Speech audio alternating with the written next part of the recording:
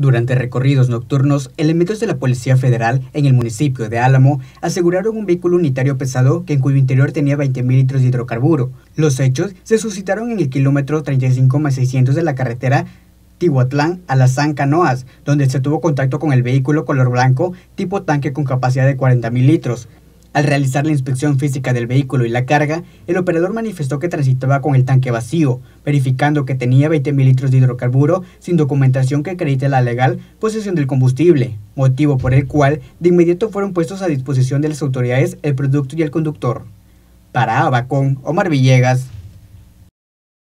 Araceli Baizabal Noticias. De lunes a viernes, 2 de la tarde. Araceli Baizabal.tv y Araceli Baizabal Andrade, Facebook.